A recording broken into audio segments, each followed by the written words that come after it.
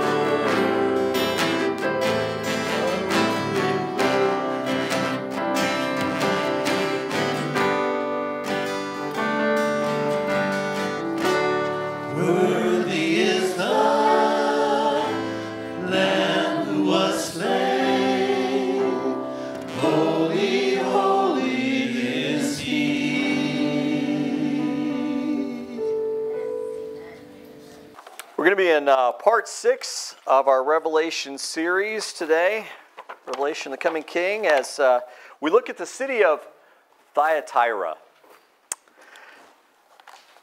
It's a letter to the tolerant church. We hear a lot about tolerance today, right? We need to be people of tolerance according to many in our culture. We're going to find out a little bit more about tolerance today.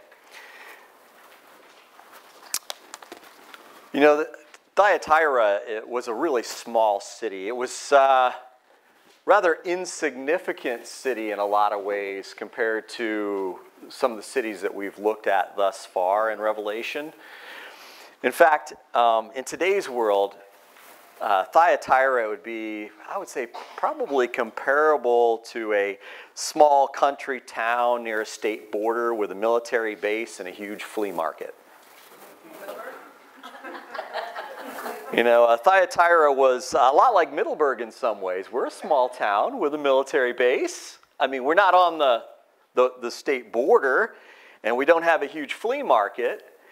But, uh, you know, this was uh, very much uh, what Thyatira was. It was, a, it was really, uh, it wasn't a very a big place, but it, it had a lot of trade and a lot of trade guilds. So it was definitely different than Ephesus and Smyrna and Pergamum and uh, excuse me, Pergamum. I always want to say that wrong. I, probably continue to say it wrong, so you'll just have to be patient with me there. Uh, now, unlike the, a lot of the larger cities, there's no real mention of persecution here in this letter to this city, but it, it is almost a given because if you were uh, not part of a trade guild, not making the sacrifices to a foreign god of that that uh, trade guild and you're worshiping God, then you're not going to join trade guilds, and therefore you're not going to have a really solid income like the rest of your culture. So, even though it's not really listed here um, in the, as in the other places, it, it is sort of a, a given. Now, Scripture also doesn't accuse the believers here in Thyatira of making this compromise, and Jesus doesn't confront them about it either. So we, we don't believe that these believers had made a compromise of making sacrifice to a foreign God to be able to be part of one of these trade guilds. So there is a, a, a great indication that they were also under this persecution, this hardship that was all throughout the Roman Empire for everyone who was Christian. Now, Thyatira was unique in their soil. Their soil was really, it had components within it that could be found nowhere else in the Roman Empire for making dye, purple dye. And so we see Lydia, a believer who's mentioned in Acts chapter 16, verses 14 through 15. She is a seller of purple cloth, and she comes from Thyatira. So uh, this was what this city was known for, and because of that, it would trade a lot with the, the countries around it. And it was also, it was a, its main purpose that city was really as a garrison, a garrison to protect the north. And so there was a lot of soldiers there. Now, in this, this passage, in this letter to the tolerant church, which is uh, Rome, uh, Revelation chapter 2, verses uh, 18 through 29, we see here that uh, Christ makes a command of the church, really, that they should put trust in Him alone. And that is very, very important. In Him alone, and then directly confront the lies, the misleadings, and deceptions of Satan.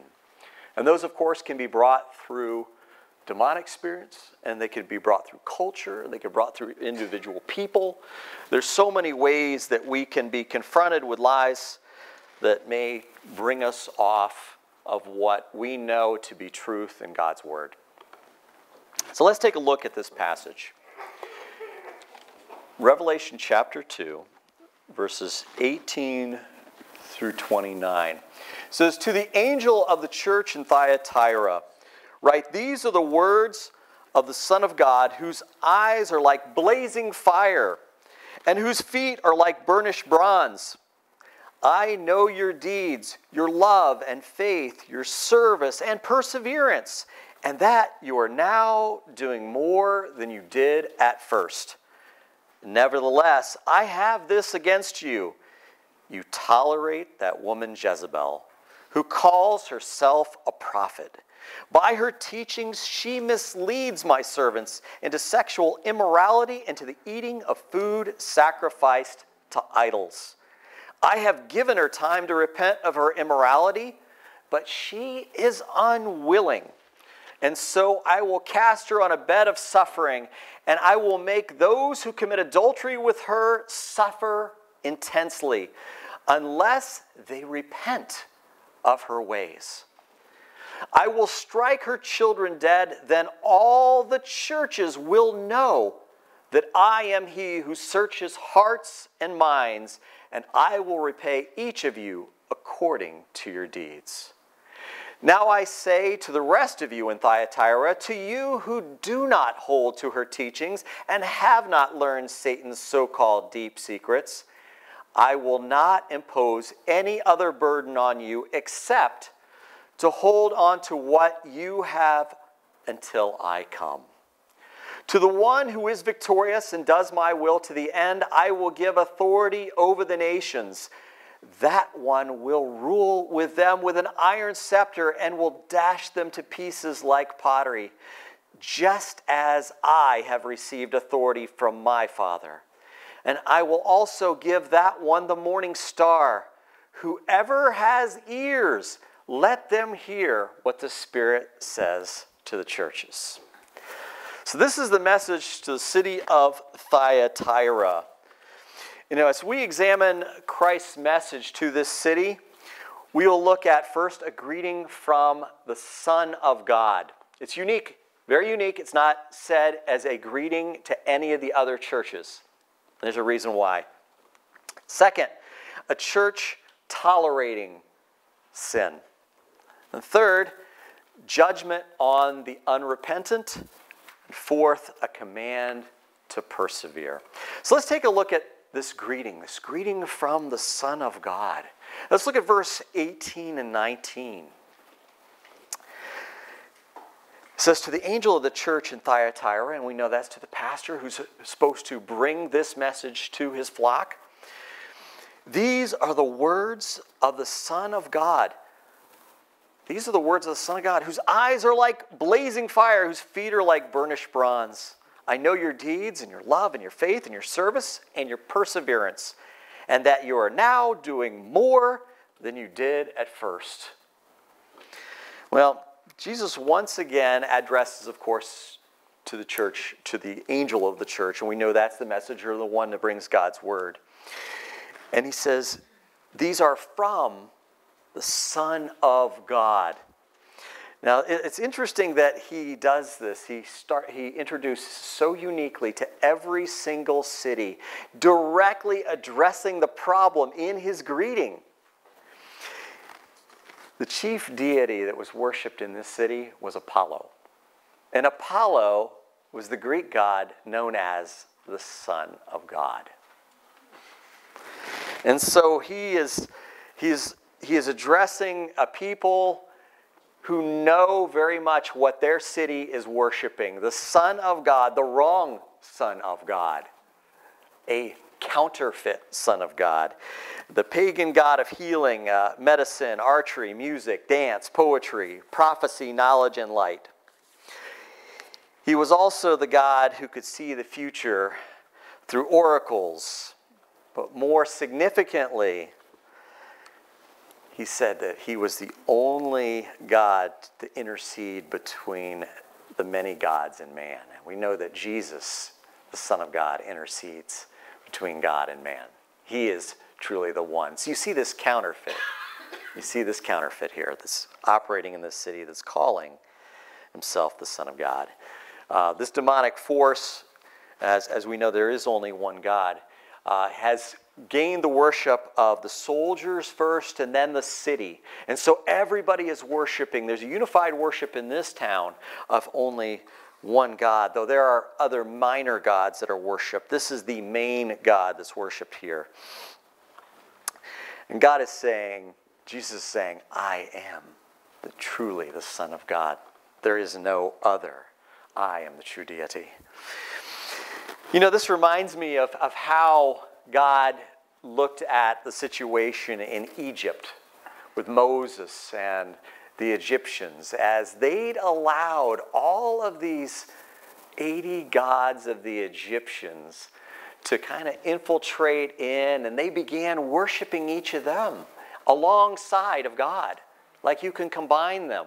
It's a synchronicity. Like, well, I'll worship God, the God of my people, the God of Israel, but then I'll also add on a little bit of this and a little bit of that, a little bit of philosophy, a little bit of culture. I'll add a little bit about what my, my parents told me that wasn't true, because we know sometimes that isn't always true either. We're not perfect, right? And we'll just add it all in and we'll just not question any of it. And we'll just, eh, it'll all just become one. We'll just coexist. I hate that word. It, it doesn't really happen, does it? And so, so God confronted this falsehood, this worship of other gods, these other ways that were untrue, they were misleading, they were deceptions. And he confronted each individually with each one of the plagues, saying, I am greater than any of these false gods who claim to be. So we see the water, the, the water to blood as he, he confronts Hapi, the, the god of the Nile, and, and the, the frog, uh, the frog headed god, uh, Hek, Heket. I'm probably mispronouncing that one. And then the, the gnats, uh, the god of the desert storms, Set. And then the flies, uh, Uatatchit, uh, uh, a god that was represented with a fly head. And you see each one of these plagues, and God's saying, I'm greater, I'm greater, I'm greater, I'm greater. Those are counterfeit, those are counterfeit, those are counterfeit. And finally, you know the last one. The last one, the Pharaoh himself was worshiped as a god, and so his son was the Son of God. And you see that he was not. He was not. He was killed as well by that final plague. And every single one God is saying, I am God. And in Thyatira, Jesus says, I am the Son of God. So we see that Jesus' eyes and feet are mentioned here. Jesus' eyes and feet, the eyes are like blazing fire, and his feet like burnished bronze. Well, the, the eyes like fire, this is that absolute penetrating judgment of a just God judging sin correctly. And you see that. And then you see the feet. The feet are burnished bronze. That was the strongest metal that was known at that day. That was like us saying steel today or titanium or something like that. This was the strongest metal that was known at that time, and it was also the purest metal. Uh, so, so we see this, uh, this purity and strength in his feet. Jesus is the strongest, purest, all knowing, the one who justly declares declares sin as it truly is. And he says, I know. I know your deeds, your, your love and your faith and your service and your perseverance. And I know that you're doing more than you did at first. Uh, that means you're submitting, you're becoming more obedient, and you're learning and you're growing, you're participating in the sanctification process. This is awesome. This is really some, some good steps. The word more is uh, more than, actually, it's a combined word there, is the Greek word uh, plaion, meaning increased in quantity or exceeding. And so they're, they're, they're responding and they're acting more than ever before. But then Jesus confronts them in verse 20 through 21. Take a look at that. It says, Nevertheless, I have this against you. You tolerate that woman Jezebel, who calls herself, she calls herself, she calls herself a prophet. By her teaching, she misleads my servants into sexual immorality and and the eating of food sacrificed to idols. I have given her time to repent of her immorality, but she is unwilling. So Jesus says, I have this against you, even though you're stepping forward. And, and I think all of us need to remember that. Even though we may be maturing and we may be growing and we may be attending church on a regular basis, we may be part of a grow group, we may be serving at church, we may be uh, doing the right things in our family, yet we let a little bit of culture slide in and accept it as truth. Or we say, you know, I'm a, I'm a Christian Buddhist. How could that be? That's not right. Everybody's shaking your head already at that comment, right? We've allowed something to sneak in that shouldn't be there. That's what they were doing here. They were allowing this. The, the, there was part of the congregation, of course, that was not. Now, this, uh, this word against here, um, Jesus uses the Greek word meaning to charge you with. I charge you with this crime. This is what you're doing against me. You're rebelling against the King of Kings, the Lord of Lords, by accepting this. I charge you with this. Here's, a, here's the charge you tolerate. You tolerate. And think about that in our culture. You tolerate. Now, some versions may say suffereth. Uh, it's, uh, it's the Greek word for either one here, which is uh, a ao, uh, meaning to allow or permit. There's certain things we should not allow or permit as Christians. And by not doing anything, where we're supposed to be on the wall, we're supposed to be standing up for God, we're supposed to be standing up for what we believe, we're allowing, we're permitting, we're tolerating. And these, these people, they were tolerating false teachers, false preachers. They were, they were allowing this woman to claim that she was a prophet hearing from God and sharing God's word when it was not true. That was not God's word. It did not line up with Scripture. That's a great way to tell. If it doesn't line up, if it contradicts God's word, it is not. And, and this, was, this was not the time of the prophets.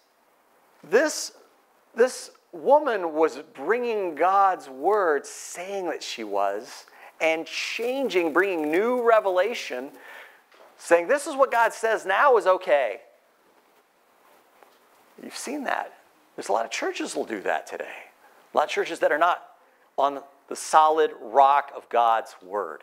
That's where we need to, to find truth. We need to not search for truth in all sorts of places. Sure, there's some truths that, that will you'll find like that'll teach you how to live a better life or to, to, to be more devout or other things. I mean, sure, there's lots of truths in all the philosophies in different religions, but the truth and the whole truth is found in God's Word.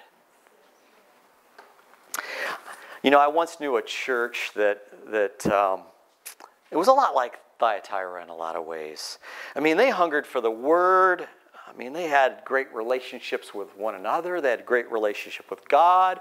They expressed a lot of love. They were very generous, but but they lacked accountability. That's an important part of scripture too. You can't leave it out. They lacked accountability and they also lacked the ability to confront. Put those two together, you got some problems, don't you? Yeah, and they did. Pride grew in their leaders, and bad character grew, and false doctrine ended up slipping up to the pulpit. It was overlooked. It was just a little bit of this, a little bit of that that slid in. And for this reason, there were some people that objected to what was going on, and they left. And eventually, the church was destroyed from within and it closed its doors. And it was simply because they tolerated these things. Well, he's a nice person. I do learn a lot of good things from him, but but he shouldn't be at the pulpit if he's teaching falsehoods. Right? And so there was these things that were not confronted. It's the same situation here in Thyatira. They're not confronting, and that's that's that's all, it's a sin of omission. You know, you're just not doing it. When God says, "Go do it," confront this, this falsehood. And so we see that the problem is one woman.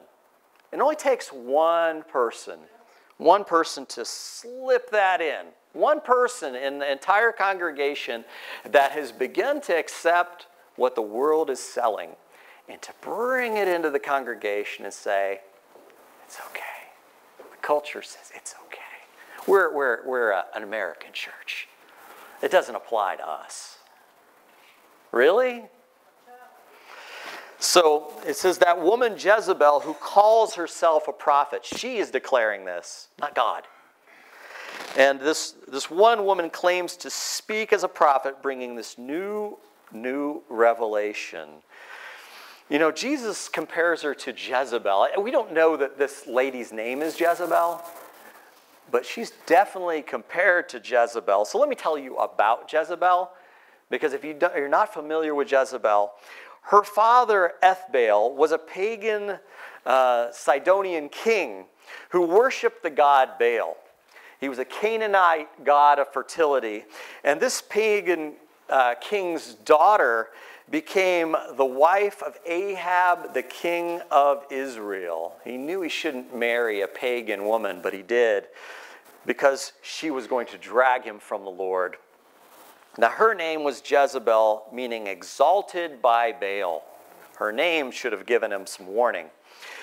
Now, the worship of Baal that she brought to Israel was really their downfall. It opposed everything that was God. Everything that was God. God created life and teaches that children are a blessing, right? A blessing from the Lord, a blessing to their parents, a blessing to their culture, a blessing to this world. And God's love was unconditional, and He blessed these families with children, and He provided for their needs. He provided for the needs of their family just like He did Adam and Eve. And everything was made for the one creation made in His image.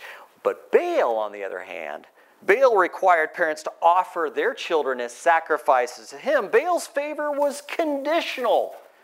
If you didn't sacrifice your kids, you weren't going to get a good harvest. So during rainy season, October, you gave your kids' lives up. So we can tell these are very different, very, very different types of worship. One is from God and one is from Satan. Now, in this unholy union, Israel's king, he bonds himself to this woman, an unholy alliance with Baal ultimately. And he provokes God in every single way by doing so and, and becomes more evil actually than any other king. I know he didn't start that way but he becomes that way because he allowed a little bit to slide in. I'm going to just accept a little bit more and a little bit more and a little bit more, and now the door's wide open to anything goes. And that's how a lot of our lives can be too, if we begin to accept any part of untruths that the world is selling.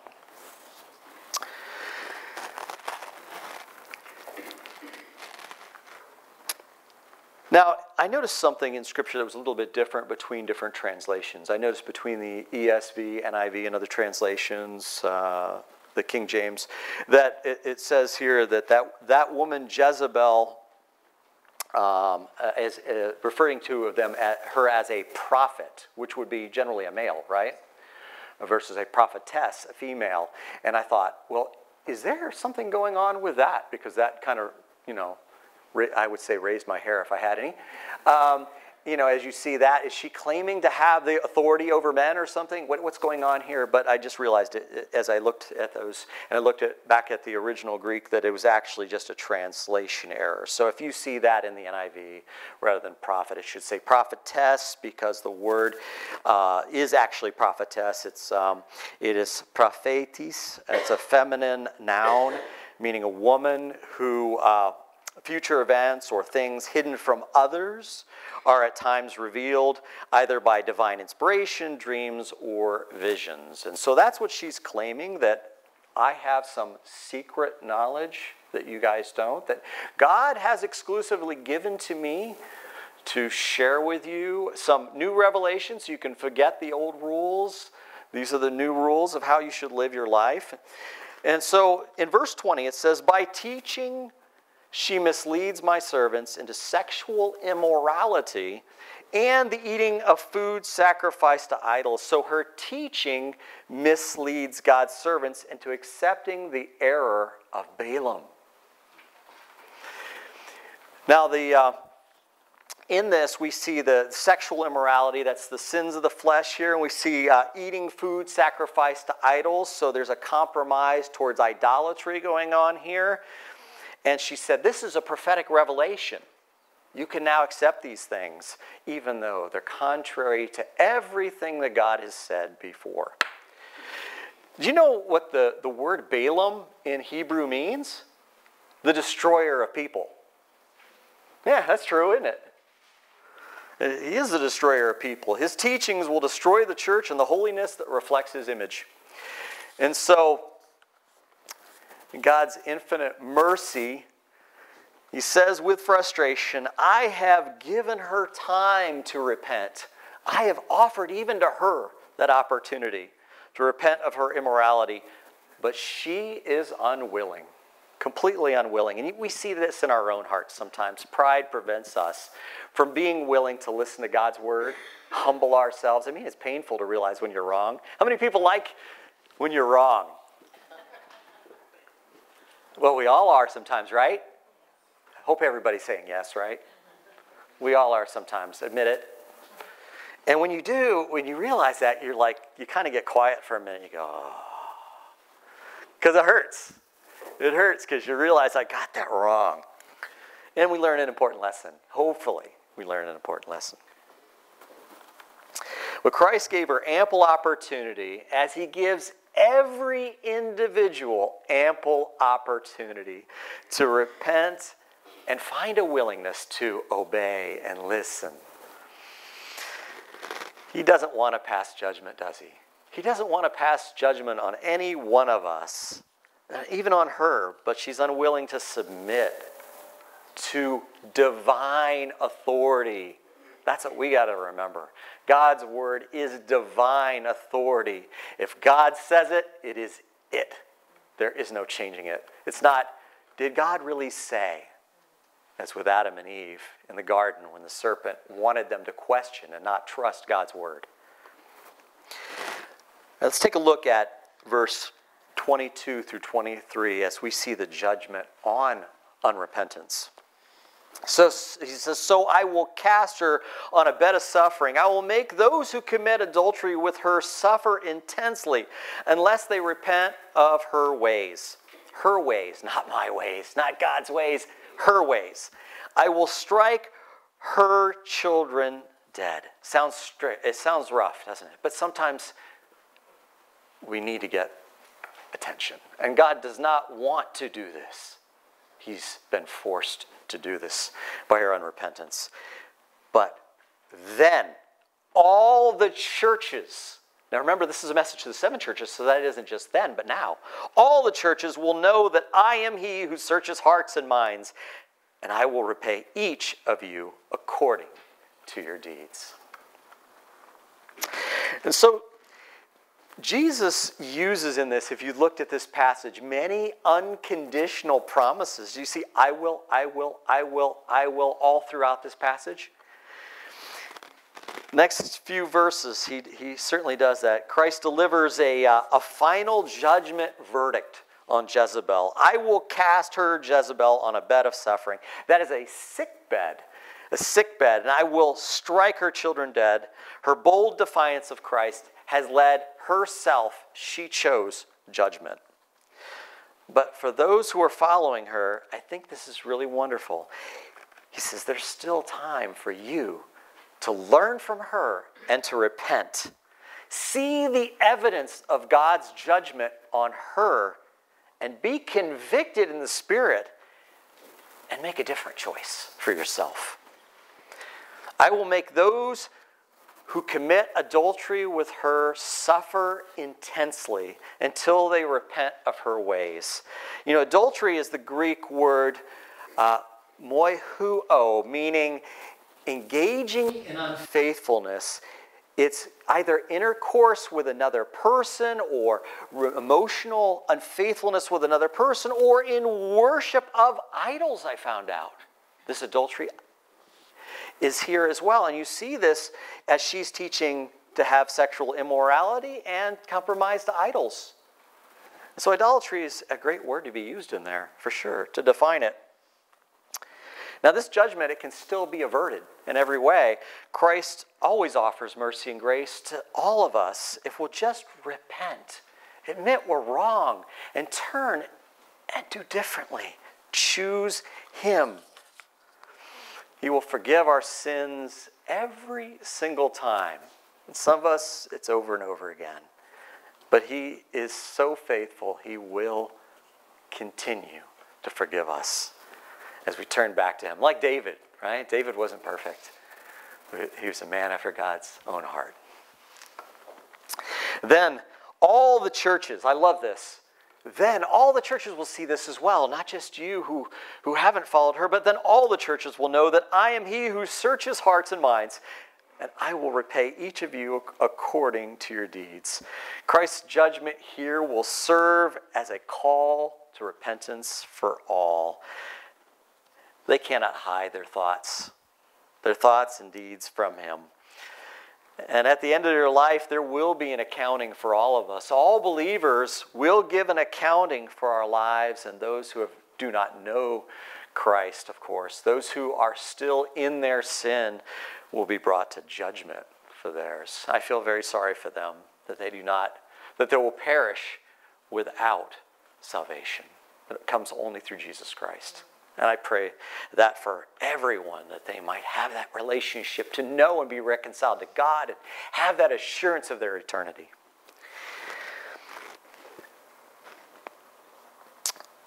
And then, as we come to, to know Christ, that we'll live differently that we'll seek holiness, obedience, and, and, be victorious over sin. And as we grow in knowledge and we grow in wisdom, we will be more discerning than to fall into those misleadings and schemes that are so obvious if you've steeped your life in the Word. Then you know truth from falsehood. It becomes obvious to you.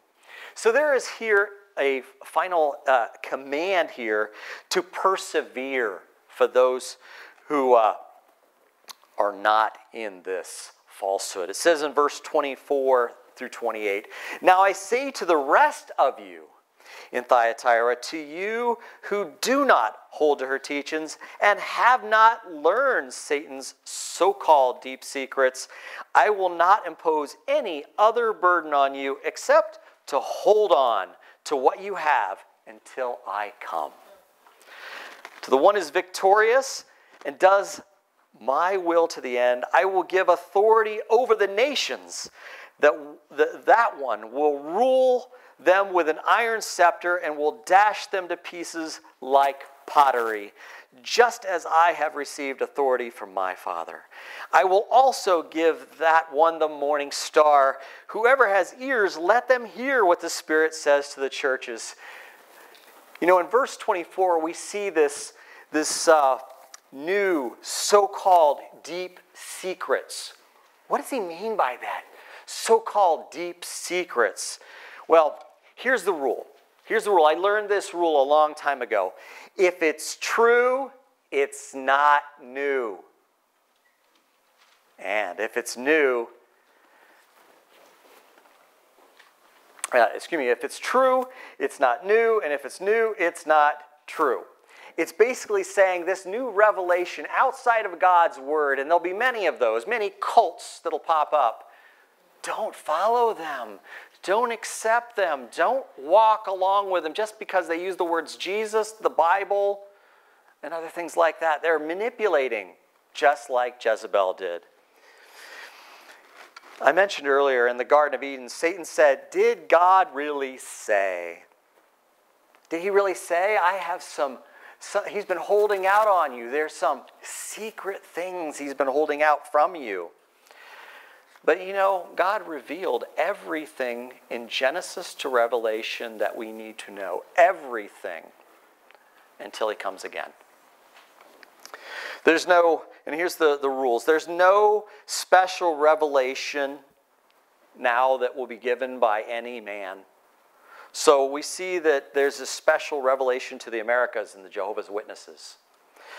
God has revealed himself to all of mankind, not just the Americas, not just to an exclusive group. That's a good sign of a cult. An exclusive group that supposedly has the truth, that claims they're the true church outside of Jesus Christ's Christianity. And there's no alternative gospel, something a little bit, just a little bit different. As the Mormons claim, they have the truth. And so we see in that one that Jesus um, was a man who became God. That should strike you as not truth right there. And um, that human beings can become gods. That should strike you as falsehoods as well. And that works can help you get to heaven. All falsehoods. All right, how about this one? Uh, no new prophets contradicting his word. The age of prophets, uh, those who brought divine revelation, it's past, and God now speaks directly to us through his word and through the Holy Spirit if you've accepted Jesus Christ as your Lord and Savior. And God's truth doesn't change. He doesn't change his mind, he doesn't change his word. And God is not exclusionary. He doesn't say, hey, I'm going to give it just to this little group, and this little group is going to be saved. The rest of you, too bad. You know, these cults like to say that, but that is not true. That is a characteristic of cults, not of God. There is no secret knowledge. Deuteronomy 4 2 says, Do not add to what I commanded you, and do not subtract from it, but keep the commands of the Lord your God that I gave you.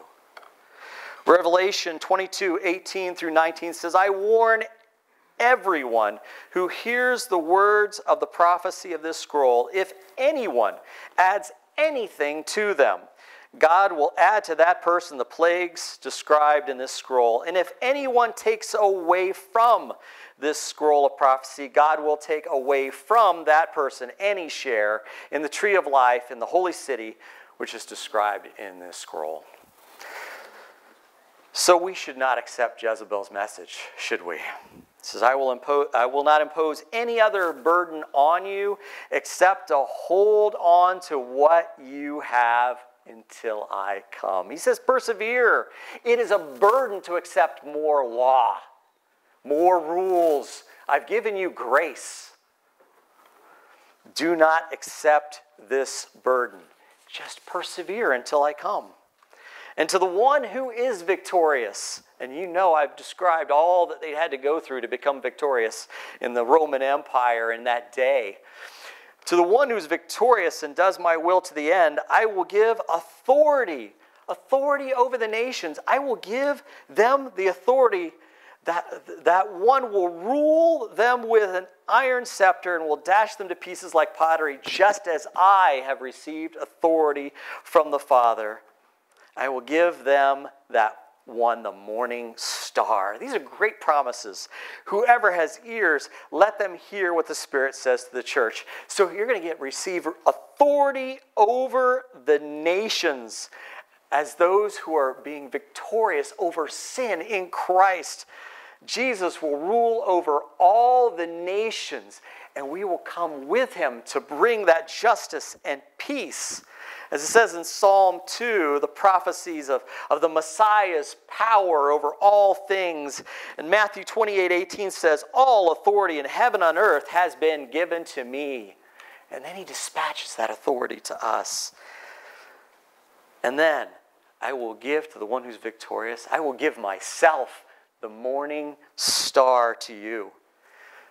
You've got citizenship in heaven. You've got eternal life. You've got great rewards.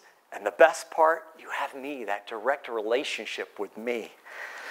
So, Thyatira, they're, they're a church that seems a lot like many churches in our day. They've, they've accepted a lot of things that they shouldn't have accepted.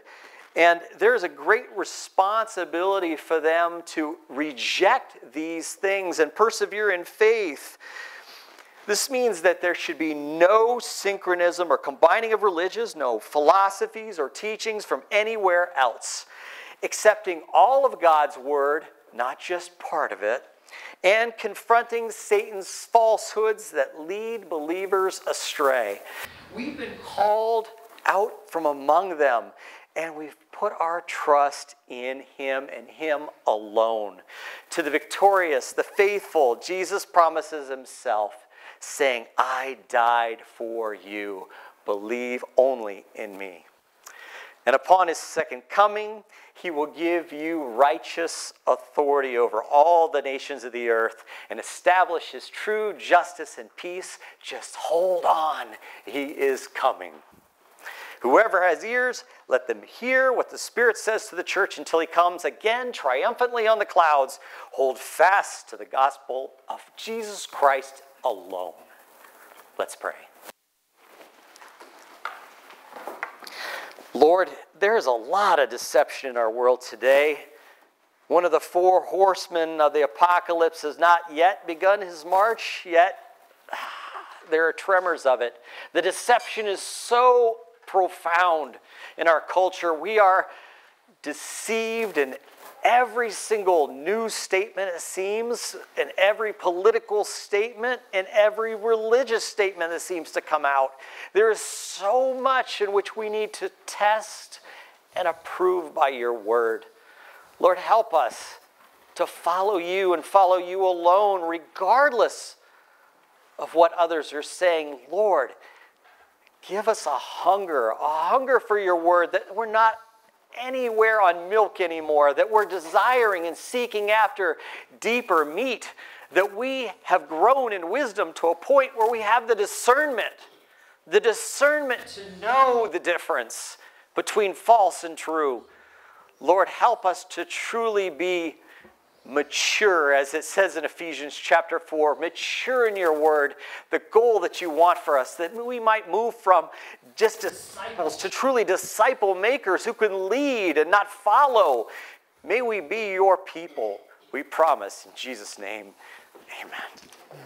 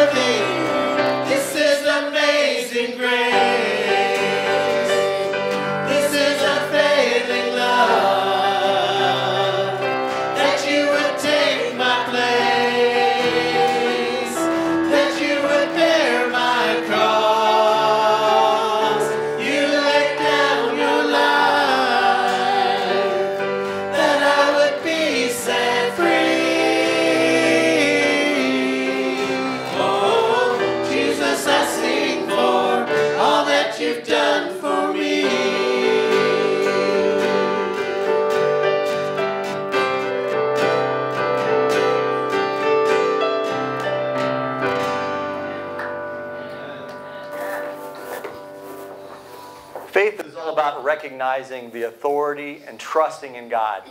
And when we, need, when we trust in His Word, we realize that His Word goes all the way back to what was they found over 5,800 manuscripts in Greek and, and many others in other languages.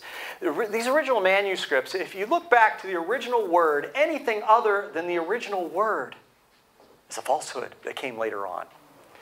And so we don't allow your heart to ever fall into accepting these falsehoods or these twistings, these half truths, because the devil works in half truths respect the authority of God and live by His word.